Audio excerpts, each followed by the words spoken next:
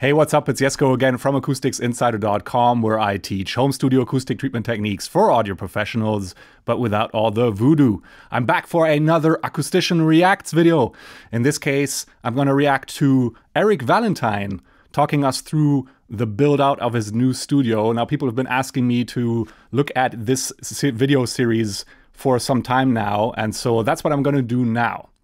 Uh, let me, though, preface this video by saying a few things. First of all, obviously, massive thanks to Eric Valentine for putting all this info out there, for putting all this work into experimenting and documenting all those experiments uh, with his room. I mean, it's such an effort. I know how much time and effort that takes. So massive thanks to Eric Valentine for doing this.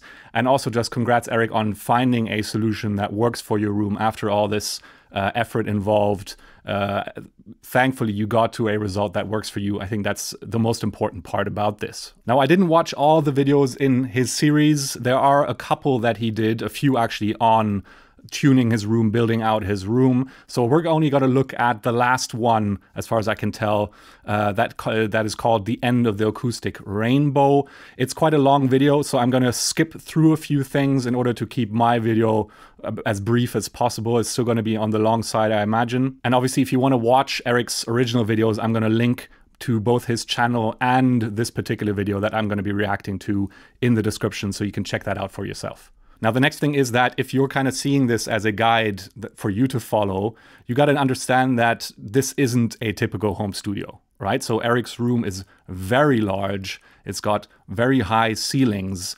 And the process that he went through really involves a lot of experiments that you really don't have to take to go through in order for you to treat your room. There are more direct ways to get to a result. And those are obviously the things that I teach here on my channel. So just don't think that you need to follow his exact path in order for you to get to a solution in your home studio. Also, I'm not going to do any bashing in this video. That's not my style. Quite the contrary. I think it's really amazing that Eric took us on this journey with him. It's really, really amazing that we get to follow along and learn from his mistakes. As you'll see, he found out the hard way a lot of the things that I keep repeating here on this channel. So you're not going to find me bashing anything that he did here at all. Now, one thing that I do have to say outright is that Eric used a lot of tube traps for the low end treatment in his video. And I have my personal opinion about tube traps. I don't think that they are the best solution for absorbing bass. In my opinion, they are literally just round versions of a standard panel. If you if you get a panel, a standard square panel with the same material depth as a tube trap, you'll get the same, if not better results, because actually you're you're getting more surface area at that particular depth than with a tube trap. And so usually the results are the same, if not better. There's really nothing special about the functionality of tube traps. Although they do work, obviously. Yeah. So again, this isn't me bashing Eric's approach. Eric obviously found a preference for tube traps at some point, and uh, and that's great. If it works for him, that's amazing ultimately that's what I want, right? For people to actually have results in their rooms. And of course, if you want to know more about what I think about low end treatment in general, all the different types of bass traps and low end control types, mechanisms, panels, whatever you want to call them, out there, then you can download my complete guide to bass traps and bass trapping at the link in the description. It's completely free. It's basically kind of a summary and an encyclopedia of sorts of all the different types of bass traps out there, both off the shelf products and DIY solutions, combined solutions. So it's all in there porous absorber bass traps, tube traps, resonance absorbers, so Helmholtz, and membrane traps, and combined versions of those active traps. They're all in there, nicely laid out. So you can kind of figure out how they work how you can actually know when you're looking at different types of products online or build instructions, what it is you're actually doing, what it is you're aiming for, but also how to use them in your room, how many you would actually need to get results, where to place them, how to go about the process of figuring out where to place them. It's all in there nicely laid out for you to kind of get a, an overview and an understanding of what kind of low end control works best for you so that you can make an educated decision if you're trying to get more low end control in your studio. Yeah, so again, this is my complete guide to bass traps and bass trapping that you can download for free at the link in the description. So let's jump into this video with Eric Valentine, the end of the acoustic rainbow, and see what he has to say and what he found works best in his studio. This is what I'm calling the end of the rainbow episode because I'm going to show the final stages of tuning the acoustics of this room. Um, man, am I happy with them. I've actually been working on these speakers and mixing on these speakers, recording on the speakers. Oh my God, it's good. Oh boy, it's good. Um, just even you know, doing these live performance recordings in this room compared to what was captured at RCA, doing mixes. I'm A-being to the album versions and uh, being able to really hear so much more clearly what's going on um, just in the mid-range and everything. It's, it's really, oh boy. Amazing. Yeah. Again, congrats, Eric. That's really what I want for anybody out there. So that's that's really what you want from your system, right? It's it's great, and so I'm super excited about it. So let's get into this.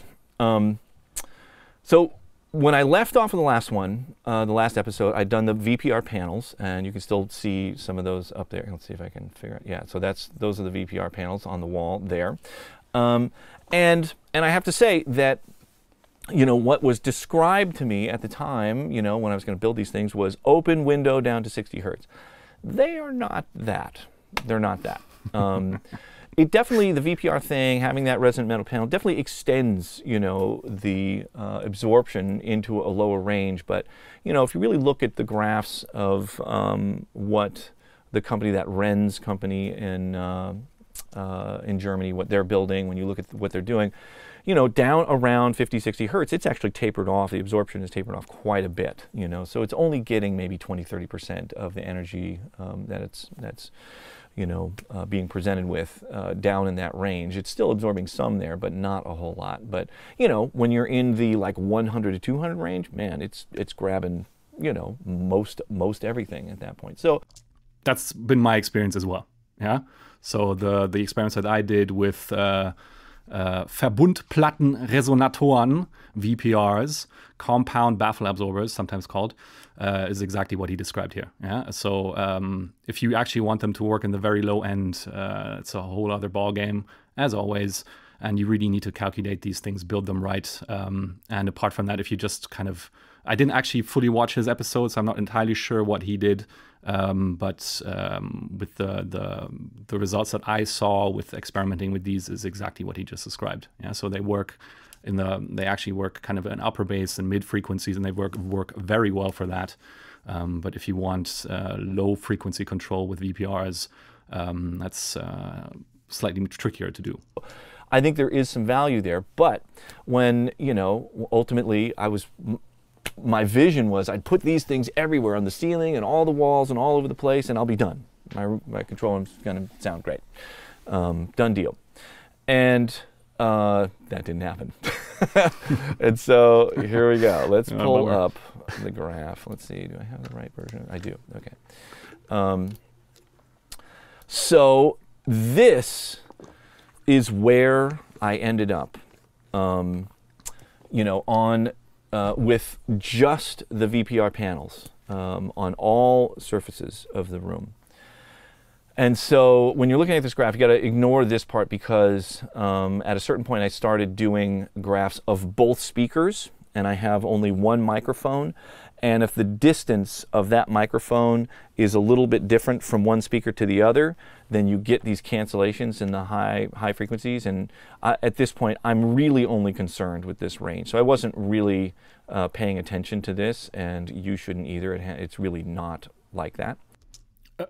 I couldn't have explained it any better. That's exactly the problem. That's why I don't measure both speakers at the same time. There's hardly any point in doing that, in my opinion. I always measure one speaker and then the other speaker uh, because of exactly what he just mentioned. And what we're seeing here is if you mention, uh, if you if you measure both speakers at the same time, any slight offset of the microphone from the perfect center will give you these cancellations in the high end. And I get emails with uh, with images like this all the time, where people are asking me what's going on. Well, that's what's going on. Yeah, you just need to measure one speaker at a time, and then you don't get this uh, these drop offs in the high end. Um, so I still got some real stuff to figure out here, especially here, right? So this is whatever it is here. Um, 53 hertz, maybe, yeah, 52, 51 hertz, somewhere around there. Okay, so this stuff is averaging somewhere around minus 7, something like that. The bottom of this peak is like, you know, minus 23. So, you know, that's like a 15, 16 dB, you know, cut at this frequency. That's, that's pretty bad. Um, in fact, I'd say that's really bad. And you can really hear it, you know, when you're sitting in this seat. Uh, there's another one here, and so this is most likely that I, there's a, there's an acronym for it. There's um, speaker boundary interference. I, I, can't remember. Everybody was mentioning it in comments. I can't remember it, but uh, this is this issue, the back wall uh, to the speaker. Um, so that's right there. And then there's another one, which is sort of is some sort of harmonic of some of these other issues that are going on. It's uh, up here around whatever this is, uh, 212. Here, let me move this one here. We can keep an eye on these these dips. And this one's about yeah 113, 113. The uh, you know so this one is probably a few dB less than that. So this has got like a good 12 dB. This is probably a good 10 dB. Um, you know these are some major major issues. And so. Um, just to sort of tease the, the whole thing here. Um, so this is where I ended up. Uh, we can look at that. So that's the final thing. That's what it was.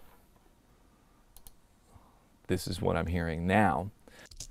Amazing result. Yeah. I mean, that's kind of what you want, right? And this is still very typical um, even with a sub substantial amount of treatment, that we're still seeing kind of fluctuations of kind of plus minus 3 dB or some something like that, you know, below 100 hertz. Um, it's still very typical. And um, the probably more importantly, uh, because there's a little bit of EQ going on here. Haha, yeah. So there you go. Even with all that effort and touch up with EQ is still worth it. Yeah, so that's why I don't oppose anybody using tools like SonarWorks or anything else, because even in, in, in a, in a well treated room, um, unless you know exactly what you're doing, aka you're a professional acoustician, you've done this hundreds of times, you'll still end up with a result where the room and the low end will benefit from uh, some touch up with uh, EQ. Yeah. Um, there's a little bit of EQ in this spot, a little bit of EQ right around here, just to fill in a couple of those voids. But here, more importantly, this is what it is with no EQ. And so all just from acoustic treatment of the room, I went from that to this with just treating the room. Yeah, looks great. Yeah, that's kind of what you would expect yeah. So exactly the kind of results that I would want to see at the very minimum uh, from um, doing a proper attempt at treating your room. That's what's important here. Um, and then this is with the little bit of EQ, do that stuff. And so, you know, this is probably, I don't know what this is, maybe 4 dB there, uh, a similar move here, maybe 4 dB there um, to get it up. Only, only two moves. So, um, you know, that's a a, a, modest amount of EQ, certainly compared to some stuff that I've done, uh, you know, at when, when, I was at Barefoot. There was, uh, I just hadn't quite, you know, got it this good with just the acoustic treatment. Um, had to do some more severe EQing in that place to make it work. So I was more than happy to do this little bit.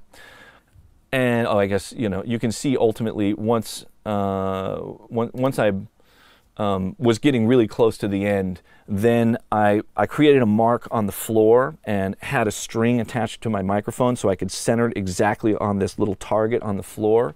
And that's funny because that's exactly what I do. Yeah, so I have a little string in my in my kit, uh, my acoustic measurement kit. I have a little string that I hang off of the microphone so that I can both get the height right and also the position um, relative well, to the to the room, so I can get that as close as possible to where it needs to be. There are some other ways you can still fine tune the exact position, but uh, that's that's how I do it. Line up the you know the distance between uh, of the microphone between left and right speakers uh, very precisely, and um, and flatten this out. So so yeah so uh, so towards the end, you know I I got the positioning of the microphone more precise, so I wouldn't you know have to look at that cancellation, which has nothing to do with really what I'm hearing uh, in the room. Okay, so what happened was um, I ended up bringing a bunch of tube traps with me um, from Barefoot. They were there, they were available. I knew I wanted to use uh, some of those in the room, particularly on the front side of the room. Um, and I saw some comments about this. I wanted to um, mention this that um, people were saying that you know you can get rid of this cancellation in this sort of like 110 hertz range if you soffit mount the speakers. Um, so there is a benefit there um, doing that. It can also extend the low frequency response of the speakers. There, there are some benefits to soffit mounting. The thing for me that I lose is that when you have the speakers sort of sitting out front of the wall, it creates this dead space on that wall all around the speakers. And that creates an opportunity for me to fill that space with low frequency absorbers, with bass traps. And so that's the reason that I wouldn't do a hard face bass trap because. Okay, so a bit confusing there. He says hard face bass trap. Obviously, if you put a hard face, aka some sort of drywall, whatever wood, on top of uh, some insulation material, then the low end won't be able any sound will be able to enter that properly. So you you're not actually and you don't actually you're not actually building a bass trap. You're building building a flat surface that extends the front baffle if you will of the speaker. Yeah so that's what soffit mounting really is in, in its classical approach. Yeah um, but he's spot on with what he's about to say. You create a hard surface on the front side of the wall and then you got to figure out how to remove that wall from reflecting low frequencies back in the in the room. You don't really have the space to do it anymore. Uh, on top of that, uh, uh, especially in a home studio, yeah, there is so much benefit in being able to adjust your speaker position. Yeah, because that's the biggest lever you possibly have to do any type of changes to the sound in your room is just adjusting the speaker position. Yeah, so obviously, if you plan soffit mounted speakers, you're stuck with what you get. Yeah, and if it turns out that you actually want them slightly closer together, you have an issue. Yeah, or if you want to move them further out, you have an issue. Yeah, so I prefer to just stick to stand mounted speakers that gives you the opportunity to refine your speaker position even if it's just small changes you'll find that that can make a huge difference to your ability to hear the soundstage and to actually mix um, records that translate properly. Yeah, so in my opinion, the the flexibility that you gain from having your speakers on stands far outweighs the potential benefits of reducing speaker boundary interference effects by soffit mounting speakers, at least in the home studio scenario. And so that's why, at least for me, um, I've I've been preferring this this approach of not soffit mounting, um, freestanding speakers. I use the voids that are created between the speakers and on the outside of the speaker to you know um, add a bunch of bass trapping, and it just helps with the performance um, overall for, in the room. You know, soffit mounting might help one thing; it might give me more low end. I don't need it in this room. It's, everything was sort of designed to support the response of the speakers, um, and it actually ended up really doing that. And so I would rather be able to just use that space to clean up the response of the whole room. So there's that uh, soffit. Soffit versus no soffit, that's at least uh, my take on it. So I started adding the tubes that I did have um, to the room. And I remember at Barefoot, um, there was one point when I first discovered tube traps, what I would do with them. And um, and so the first, you know, I, I, made these two like huge ones. They're 22 inches in diameter. They're massive. Um, I think the walls are either two inches or one and a half inches thick, and um, put them in the front quarters of the room, uh, just outside of the speakers, stuffed all the way in the corners. And the difference with and without those was so dramatic right out of the gate. It was like, whoa, oh my God, these things are actually doing something. And this was sort of the beginning of me really having some tools to be able to um, tune a room with just the acoustics of the room. You know, I was using FuzzMeasure, which I still use, really enjoy using that, and and started using tube traps. Made all the difference. Uh, amazing, yeah, amazing that this worked so well and that he had that experience. It won't be any different if you just use properly built bass traps. They don't have to be tube, tra tube traps. This is just him adding in a substantial amount of porous absorption, yeah, and uh, and then you get the result. It's that simple. Um, so here we go. I put two, those two, same two um, 22 inch diameter tubes in the front corners next to the next to those things, and, and look what happens. Granted, they're pretty big. Happens. So already, right out of the gate, we've got, you know, we've gained one, two, three dB here, probably something three or four dB here, here, like all of these, you know, cancellation points are being diminished just with two tubes right up front. So that's like three or four dB of EQ that I don't have to do right there. And you want to minimize the amount of EQing you do as much as possible because EQing comes with huge compromises. Obviously, potentially headroom, yeah, robbing your speakers of headroom. If you boost into your speakers, you're stealing your, your speakers of headroom. Uh, or on the flip side, potential max volume or you're increasing the the point at which the speakers start audibly distorting. You're in, you're lowering that threshold, um, and then obviously the the effect of uh, added latency by having DSP in the signal chain. Yeah, so you want to minimize EQ as much as possible, or rather, you want to do as much as you can with treatment first, and then just touch up only what is absolutely necessary with EQ at the end. Okay, so then what do we have next? Okay, so then I did an experiment with the panels. I was really curious to see if it really made a difference. And I, I saw this, uh, there was a demonstration of this with the, the setup with one panel behind a speaker. Um, if you watched the VPR episode, um, what it did, you know, having the, the, the, the foam pushed tight so it's in contact with the metal versus being spread out so just just to be clear here, when he's talking about panels here, he's talking about these VPRs, these compound baffle absorbers. Yeah, so these are not standard acoustic panels or porous absorber bass traps. Yeah, these are these special uh, metal plate, steel plate plus insulation material panels that I think he built himself, uh, based on the designs from Renz uh, from uh, this company here in Germany. I did that experiment with the whole room. I wanted to see how much of a difference that would make in the whole room. And so this, oh, okay, yeah, actually I did this sort of in the wrong order. Um, so this is with the panels loose in the room. So the metal is free floating in between the foam. And then this is with everything pushed tight, so they're making contact. And there is a tiny bit of difference here. Uh, let me move these out of the way. These numbers are actually sort of interfering with what we're being able to see. But you can see that the efficiency, it's a, those panels' ability to grab some of these lower frequencies um, was definitely improved. Uh, so I'm not exactly sure how he took these measurements. This could very be very well be just an error in the in the like tolerances in the measurements. Yeah, I mean, and even if they aren't, uh, if this isn't part of a kind of a measurement tolerance error, um, this is not a significant effect. Yeah, I mean this, considering how much he probably did, how many of these panels he put in the room, this is basically nothing. Yeah, and um, and then the question quickly arises, depending on how much effort and money he, he invested into getting these panels in there, and that's all you get. Yeah, so. Um, just comes to show, yeah, some things are effective and some aren't. Um, by having the panels uh, loose and not having them in contact with the metal, uh, the metal. So it was further confirmation that that that approach I think really does improve things, you know, by by a little bit. These are all sort of drops in the bucket. Okay, so then this.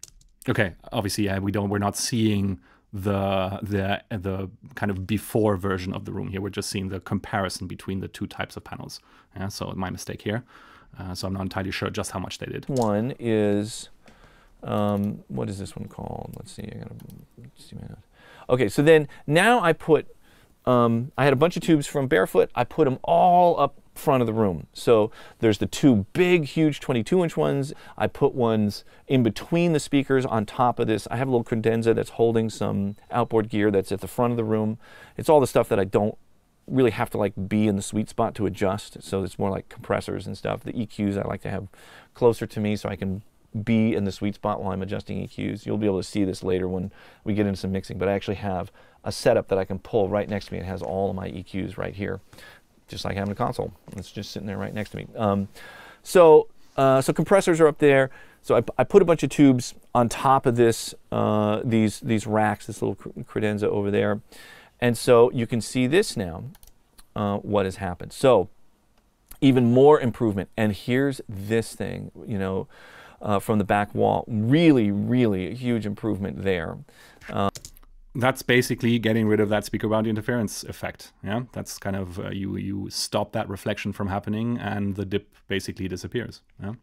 Um, almost totally eliminated that. Just putting these tubes, and these tubes are anywhere from uh, 12 to 14, 16 inches in diameter. They're all sort of in that range. I had a variety of sizes, and the way the tubes work. Um, they are wonderfully broadband. And so the diameter doesn't make a huge difference. Um, it does make a difference. So the larger diameter tubes will push and extend the low frequency absor absorption down into the lower range, but it's, it's not like a Helmholtz resonator where it's this really tuned specific thing. It's all very broadband because they're basically broadband panels in a round shape, yeah. And increasing the the diameter of the tube is the same as just increasing the depth of your panel. Yeah, um, makes them way way easier to use, and so um, so put a bunch more tubes up front. This improved. This improved a lot. This improved.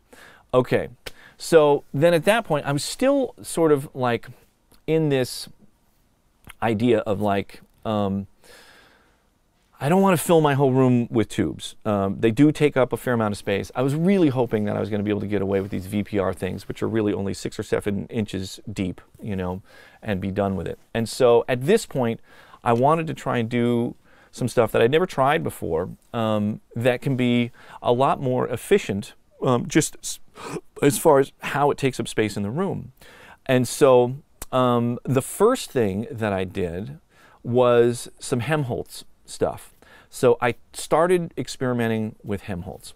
So I played around with that a bunch and you know, put I built one of them, put it in the back of the room, didn't make a big difference. Built another one, put it in the other corner, didn't make a, a, a huge difference. Or it would make it worse. Um, the, the, the cancellation would get worse. And so then we are like, well, maybe we need more of them. So then we built like five or six of them and had them like two in the corners and then had a stack of them. And the way we had it was the closed ends were butted together and then the ports were at the top of the bottom, like right at the floor, right at the corner of the ceiling. That's really where you get a lot of the energy building up. We did that. Again, was not making it necessarily better. it was, uh, you know, not doing what I was hoping it would do and was, you know, still kind of frustrating. So I wasn't really. These experiments with Helmholtz resonators, yeah, they can be very painful. Um, there's so many variables that you need to get right, um, apart from the ones that are obvious, so the tuning and the positioning. And so, um, yeah, I'm not surprised. Really getting a huge result. So then I got suspicious of th the material I was using for the Helmholtz resonators. So I was starting to feel like, you know, basically, you know, like a pipe organ, um, that's essentially a, a, resonator. It's a big cylinder, there's a port in it, you blow wind through it, it resonates at a very specific pitch, actually creates a tone in the room. It's one of the things to be aware of with a Helmholtz resonator is that um, if you design one, you know, that's really, really efficient, it will ring in the room, you know, like you'll have music playing and turn off the music suddenly, you hear this like mm, sort of fade out in the room. So you do have to dampen them a little bit. And there's basically a trade. Off. See, that's the problem with all types of resonance absorbers is that you need to dampen them the properly. This is a resonant system, and if the damping isn't right, you don't get the right uh, kind of decay in this in this system. And so that's one of the biggest issues with all types of resonance absorbers that you need to get the damping right, and that is not easy to do. Trade-off between dampening and efficiency. So if you add soft material on the interior of the Helmholtz resonator, and I put little pieces of foam on the cap that went on the solid cap that went at one end, just to dampen it a little bit. Um, you'll get rid of that ringing, and what ends up happening is it's not as sharp of a peak. It sort of broadens out a little bit.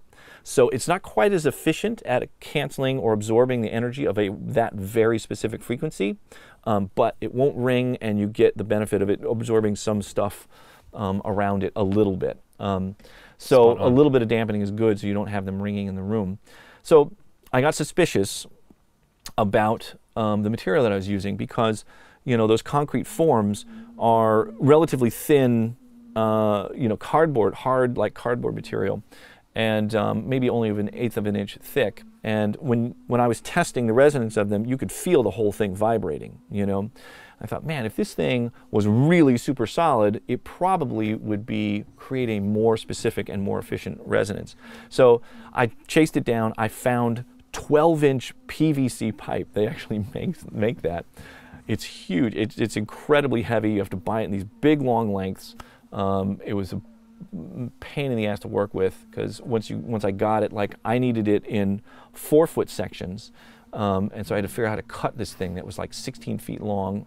it's a real adventure getting it from the place, the supply place that got it in my truck with it sticking over the cab, you know, strapped down. It's crazy.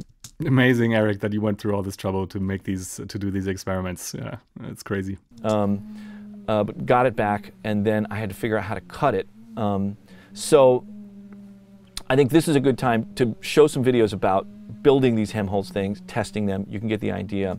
Um, so here's just like a variety of stages of the process, me working with all these different materials and testing all that stuff. So check this out.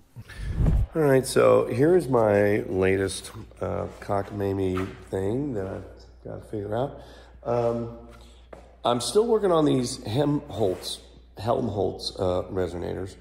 And uh, you know, I did a bunch of them with these concrete um, forming tubes, but they're, I just, I, my instincts are telling me there's just not quite enough mass there um, to really uh, create a solid resonant chamber that's going to be really efficient. I think uh, efficiency is being lost in the fact that the whole thing vibrates a lot. So he's probably completely right. Yeah, that's one of the issues with all types of resonance absorbers. Like the they need to be extremely heavy the the the you don't want any of the structure of the thing actually resonating, actually vibrating, um, because that will create unwanted resonance in the system. Yeah? And who knows what that does? I managed to find um, that they make, you know, 12 inch diameter PVC pipe. Um, I found a place that sells it. Um, it's this delightful sort of turquoise color here. So I've come up with a way to sort of test these things. Um, uh, you know, this thing is supposed to be tuned down around like 41, 42, 43. That's the issue that I'm having. It's the second order of the length of this room. so initially, when we were tuning these things, I would just hold it in front of the speaker and I could feel it when it would really activate and start vibrating. And then, I, you know, I started realizing like, man, I'm probably not supposed to do that. So now what we have is this little piece of tissue um, hanging over the hole. And so you can really see when air is going in and out of there. Um, when the tissue really starts moving, that's, you know, uh, what this thing is tuned to. You know, so when I turn it off, you can see the tissue just sitting there. Um, okay, so, so there it is. Let me start this up again. Yeah, so you can see it freaking out there. And so this tube ended up being uh, just slightly higher, right at 43.5 hertz. and you can watch what happens when I move up. Paper stops moving. So that's at 60 right now. There we are, right at 43. I'm going to go below that. Yeah, so we're really, really down there. the kind of experiments you have to go through to tune these things. I mean, at this point, he's just he's just figured out what resonance he's actually tuned these things to in practice, right? But yeah, this is this is uh, oftentimes what it takes and more. And it doesn't really move as much there. So it's pretty clear that 43 is where this thing is tuned.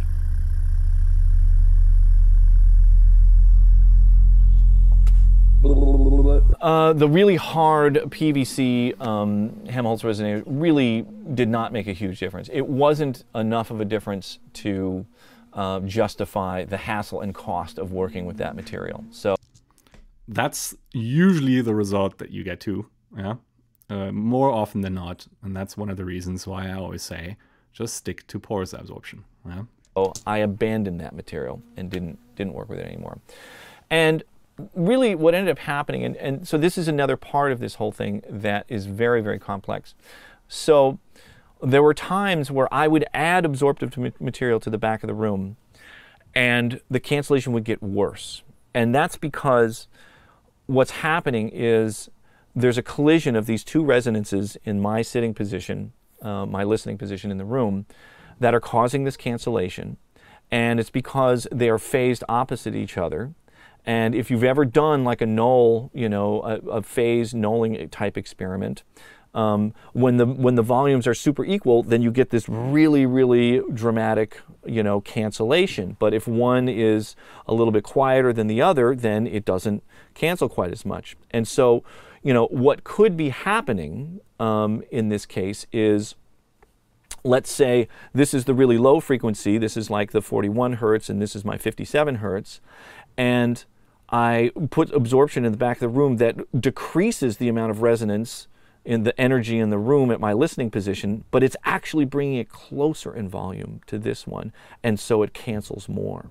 And so I think that's what was happening in the back of the room.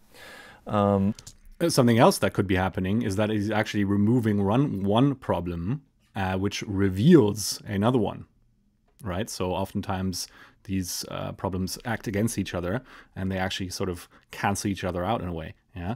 So that might also be happening. Um, I mean, this interaction between resonances only happens if they are the frequencies are fairly close together. Yeah. So I'm not entirely sure which ones he's referring to right now, but uh, if they're far enough apart, they can't really interact. Yeah, because the frequencies are too different. Yeah. So they have to be fairly close together for that interaction, ideally right on top of each other. Um, and so I'm slightly skeptical of his conclusion here, but there are so many things that go on in these rooms. Uh, this is still, acoustically speaking, a small room. Yeah. So uh, in small room acoustics, there's so much going on. Um, and it's sometimes it can be very, very hard to diagnose exactly what an issue is because you're usually de dealing with a lot of issues piled on top of each other that are in many ways interacting.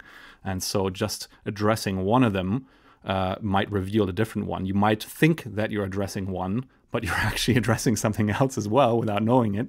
So um, it can be hard. So that's kind of the process that we're seeing here. Yeah. So I'm I, am not going to say uh, what exactly is going on because I don't know, um, but uh, I think there are potentially other causes for what he's seeing. When I was putting stuff back there, and it's like, fuck, it's getting worse, you know. We even tried putting a bunch back there to see if we could get past that point where it would, you know, go past this point and get lower and lower to the point where we're actually seeing an improvement, you know, past the, the, the real null point and get lower than that.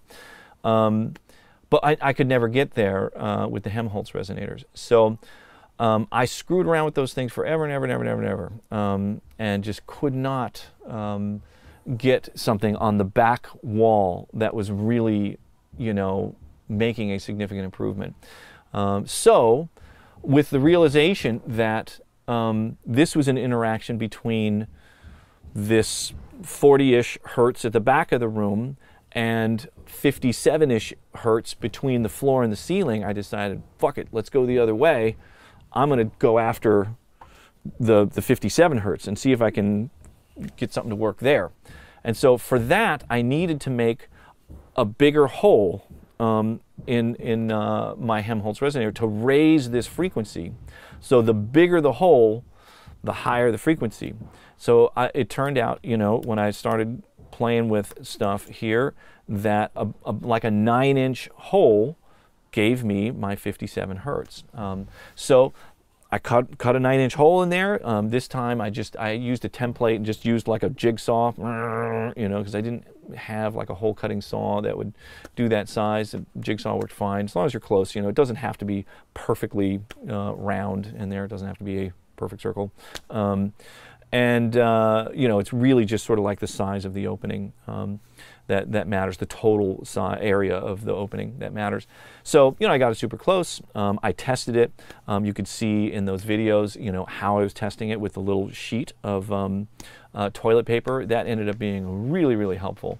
Uh, to figure out, you know, really where these things are resonating, and I could adjust either the size of the hole or the length if I was going that way.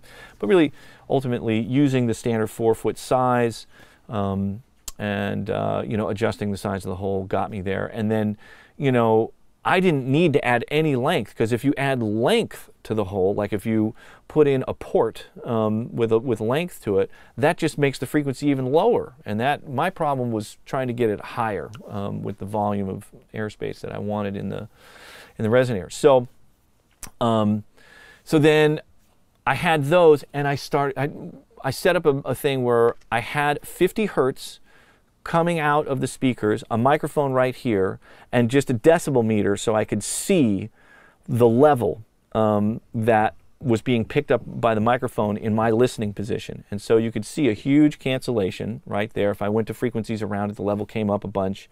But, you know, right in this position, it was very low. And I actually, it was a little confusing numerically because um, the it was showing as a negative number or no? What, uh, I remember it got confusing at, at a certain point, and so um, so then I set up an actual you know virtual VU meter so I could see the needle go up and down. You know, and in this instance, I want to see the needle go up. I want to have more 50 hertz in my listening position as I'm moving around the room with this thing. Because when I was looking at the number, it got confusing. It was like, wait a minute, is this a negative number? Is this a positive number? If it's a negative number, I want the number to get lower in value, or you know, it was it got confusing. So, so with a with a VU, it was very easy for me to go, oh, that's higher. That's what I want. Um, not not trying to do math while I'm walking around the room with this fucking thing. So. Um, uh, so I found a really magical place in the room, and it was basically right in. It was. It's right at that like quarter length position in the room, and there was this spot where when I held it up to the ceiling, I could just feel the tube go start just vibrating like crazy, resonating like crazy, and you'd see the v, VU meter go whoop and come up, you know, and so the, it happened in both upper corners of the room, right up here. And so that was my success with Helmholtz resonators. And so Sweet. let's pull up this graph. It's super interesting. So every time, um, you know, because like in between a lot of these different tests, I'd stop. It would be the next day. I'd have to build a bunch of crap, you know, like build some hemo, go and get materials, whatever. It'd be days would pass, and then I'd start up again. I put the microphone back in, and even when you move the microphone just a tiny bit, you get a very different thing. So I'd have a new, I'd have to create a new benchmark each time. So I'm not comparing to, because this was where I kind of left off. This was, you know, um, all the tubes up front, um, and I was right here. And so then I came back the next day and I was and I discovered this whole thing and I, I, I captured the difference that these Helmholtz things were making. Um, and so I did a new benchmark. This is without the Helmholtz resonators um, up in these you know corners in the ceiling right here. I'll see if I can. Yeah, you'll see a picture of them later when I show a video that shows the end result of this room, which is kind of crazy looking. Um, okay, now check this out. Bum, ba-dum. Look what it did. This is so cool. Um, so another pretty substantial gain here. This is almost here. So this is like one, two, three, four, almost 4 dB of reduction in this cancellation here. Here's the big thing for anybody that's looking lower in the screen. Look at that. Oh my goodness. That is a huge difference. It cut the decay time at this in this 60 hertz range in half. That is a huge difference. There was nothing else that I put in this room that did. That's true. Yeah, that's uh, really great. Um, and I'm surprised that we're only looking at uh, any type of time-related um, metric now, because um, the the time response is arguably even more important than the frequency response, because the frequency response is just a result of getting the time response right. Yeah. So obviously in real life, everything just happens in time. The frequency domain doesn't exist in reality. Yeah. So um, it's uh, uh, the frequency response is a direct consequence of fixing the time response. Yeah. So um, that's why I like to look at way more then, or I glance over frequency to see what what results I'm getting, but it's in the time response where I actually analyze the problem. Yeah. So, um, uh, but yeah, great result. Anything like that, and so that's that's really the benefit of the Helmholtz thing, because you know, relative to the the volume of the room, you know, these are just two tubes that each have a volume of whatever that was, three something square feet. Um, what, what was this? Yeah, 3.14 square feet of, is the volume. And so it's a total of, you know, whatever, six feet and change uh, of air volume that you're taking up in the room, and it's it's having this much effect on this frequency range. That is huge. So if you do get the Helmholtz resonators right, and you find them in the right, get the right position at the right frequency in the room, you can get this dramatic result with them. Um, and so it took me days to figure this out.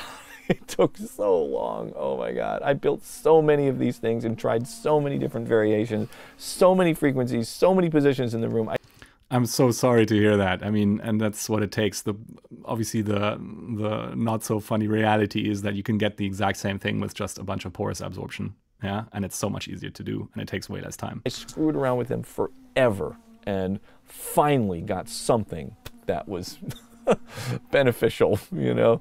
So there you go. Um, so then uh, I had done that there, but still, the back of the room, I wasn't having any luck um, with Helmholtz resonators in the back of the room. So I went down a different road. I went down the limp mass absorber road. I'd heard about them.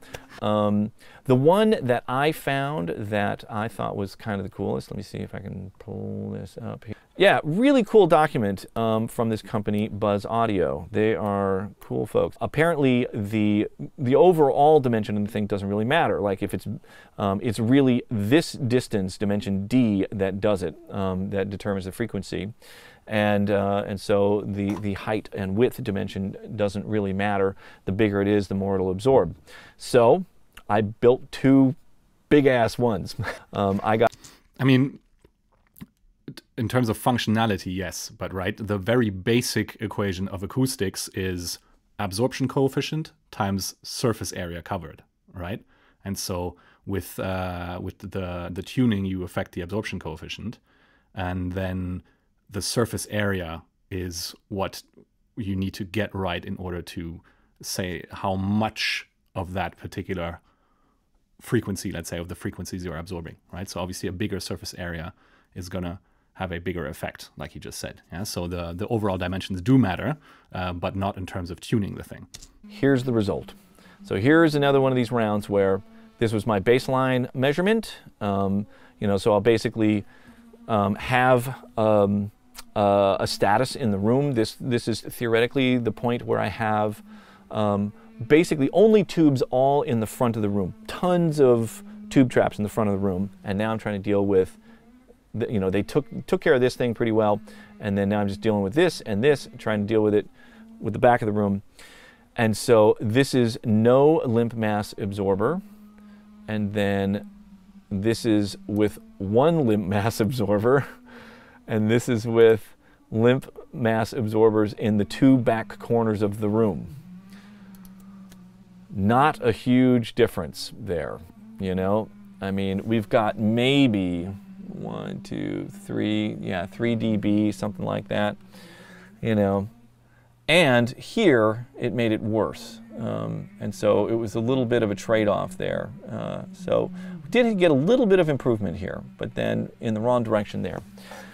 And so those things, I just decided like, these are a fucking pain in the ass to build. They're big and heavy and, you know, I, they're I don't know if these are going to get me there. Um, they may be too specific um, to this frequency, uh, causing problems here.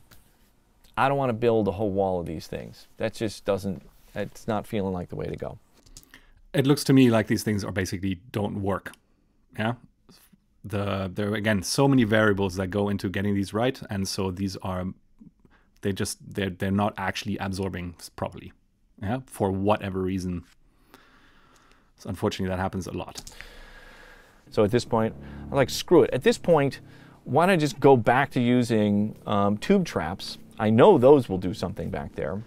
And um, the material's available. It's not wildly expensive, you know, compared to some of these, uh, some of the stuff that you get into to do this. Um, you know, it, I, th- I, think it's very reasonably priced, you know, for building these things. Um, so I decided, fuck it, I'm going to build a bunch of huge ass tubes back there. These ones were going to be 20 inches in diameter, just slightly smaller than the ones up there, two inch thick walls, and I'm just going to fill that whole back wall with nine foot tall tube traps and see if that makes a difference. Damn it. you know, like something's got to work, you know? And so, um, so that was the next experiment. And, uh, so here, here we go. Here's small resonant panels, and then this is with the tube traps on the back wall. Look at that. Yay! It's doing stuff. Yay! Oh my God. I was getting so frustrated um, along the way, trying all these things that were really supposed to be doing stuff, um, but didn't. And man, this one was huge. I was so pleased uh, to see that, um, as I was very concerned about this. This it would be very hard to, you know, navigate EQing a snare drum with that cancellation going on. So that was a relief. This is totally in a usable range now. Um, so. Uh, so now um, there are some other variables about the tubes that um, I had never really had an opportunity to test before, and that's really what this whole build, this whole studio thing, was been about. Is I, you know, I had the time, I had the resources to fuck around and really learn some shit, and um, and so amazing. I want to just for myself know, like, do you have to have it closed at each end? Do you need a cap on both sides? What if I leave the paper on? What if I take the paper off? You know, do I need to have a hard surface on the front of this or not? Like what, how does all of this stuff affect this? I don't know if that the inside chamber is going to create any resonance at all. Um, the ones that have the paper on the outside, so air can't pass through the walls of it, um, might have a little bit more of a resonance to it, but that gets dampened a lot, obviously, by the fiberglass on the inside. So um, I did try and actually put one of these down and use my little toilet paper trick for um, seeing if there was a resonance there, and it, there was no real clear resonance uh, to this thing. I think this is a myth that these things and that these things can resonate. Yeah, um, it's just insulation material. Paper is way too thin to hold uh, to to kind of hold any energy at the low frequencies that we're talking about. They just pass through. Um, yeah, basically, like I said at the at the beginning of this video, for me these are just porous absorbers in a different shape. All right, we have a result. I put all the little caps on there. Had to weigh one down; it was a little warped. Um, the other one's sat on there good enough. No real appreciable difference there. Um, I don't know if you can see this graph. Not a big difference. Time to take the paper off. Okay, let's see what happened here. Oh my goodness. Yeah, no real significant difference. Like I said, these are just porous absorbers. They don't do anything special. And maybe a tiny, tiny difference here. I mean, really minuscule. They're showing like a much longer decay time with this, which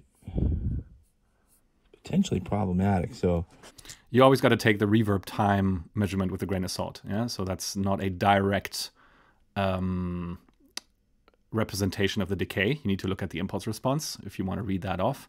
And so if it if it if it turns the impulse response measurement into a RT60 value, there might be some mistakes there in the automatic calculation, and that's why I don't trust RT60 measurements at all. I just look at the impulse response, yeah, because that's the only way you can actually check out what's going on. Yeah, this might actually be better with the paper on. Mm, damn it. Okay, so here's the result right here. It's not not a huge difference. Um, That's a um, that's a that could be down to just like error in the measurement. There's I don't see a difference here. you know, maybe there's a little bit, you know, uh, of uh, energy loss here, not major. I mean, you can see definitely it's lengthening the reverb time, but you know, the scale of this right now, this is 0.2, so this is like, you know, 0.05 difference in the length of reverb time, uh, you know, in this frequency range. You can definitely see the sort of reflectiveness of the paper in the room up in the high frequencies, so you can see that lengthening a little bit. Yep, that's true. Um, and so, you know, at the end of the day, maybe um, it was a little better uh, in the low frequencies with the paper, uh, maybe. I don't know. My next experiment was I wonder if you put a hard surface on the face of these things, because I've seen some of the tubes made that way. And they sometimes they'll call them abfusers, so they absorb in some frequency ranges, but then diffuse in other frequency ranges, and that's what these would do. If you have a hard, you know, surface on the front of this cylinder, you know, it's this, you know, uh, it's not a flat surface, and so uh, reflections would get bounced off in all different directions and different timings and stuff, and so it can function as a diffuser. So here's that result. Again, not a significant difference. And, you know, some places you're kind of trading one for the other. Um, and again, you see the huge difference in the high frequency range just because there's a hard surface that's now facing back into the room. And so all of these higher frequencies get, you know, um, reflected back more in the room. It length, lengthens the reverb time in the room in that range. Okay. I'm gonna say it's, it brings back the original reverb time because obviously he had absorbed it before, and so now that absorption is covered up, and so we're now getting back to what the original reverb time was. Yeah, you can't actually lengthen the reverb time artificially with diffusion. Okay, so then, um, uh, so I decided, yeah, that's probably not worth it. It's not really making a substantial difference, you know, down in this world. Um, and this, I'm probably better off not having all of that.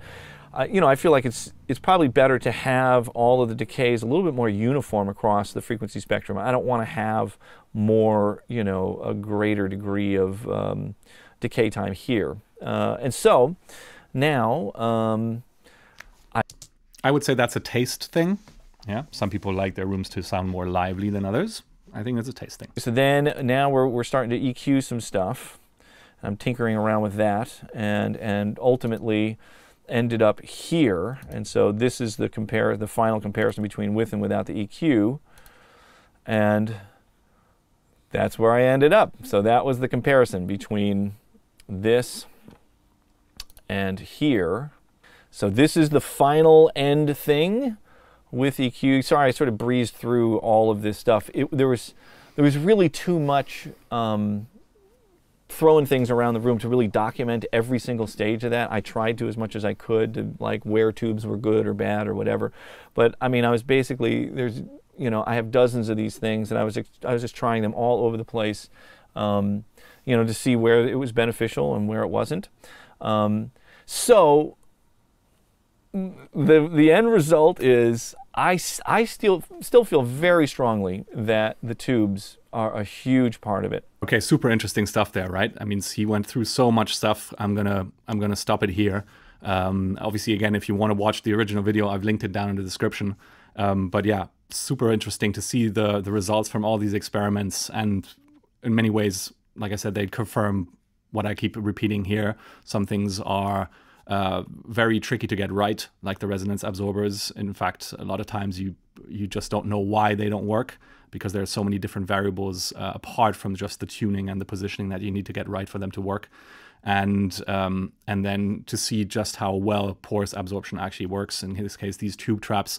I got to say, I think if you just use standard porous absorption, just fill the entire depth, you would have probably gotten even better results yeah, with these tube traps. He said that the, the actual uh, insulation material is just two inches thick, and so there's potentiality for problems there.